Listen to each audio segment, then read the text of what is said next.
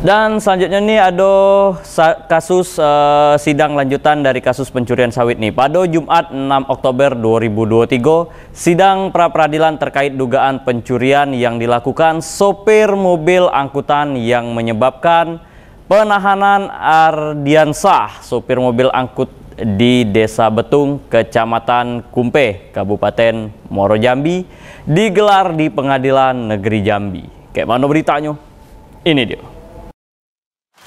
Sidang pra peradilan terkait dugaan pencurian buah sawit yang dilakukan sopir mobil angkutan atas nama Ardiansyah di Desa Petung, Kecamatan Kumpe, Kabupaten Moro Jambi, digelar di Pengadilan Negeri Jambi.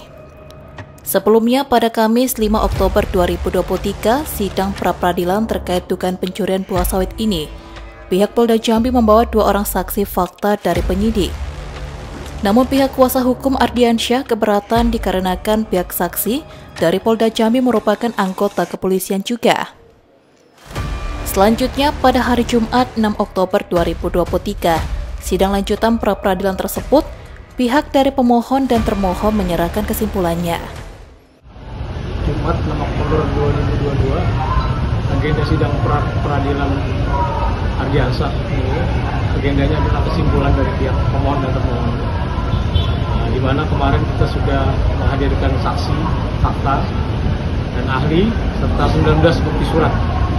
Yang mana kita harapkan dengan pembuktian yang kita ajukan tersebut dapat menjadi pertimbangan majelis hakim yang mulia hakim bisa memutus sesuai dengan fakta-fakta hukum yang sebenarnya dan memutus sesuai dengan kebijaksanaan dan keadilan. Ditambahkan Ardiansyah selaku kuasa hukum Sidang pra-peradilan berikutnya akan dilaksanakan kembali pada hari Senin 9 Oktober 2023 dalam agenda putusan akhir dari Majelis Hakim.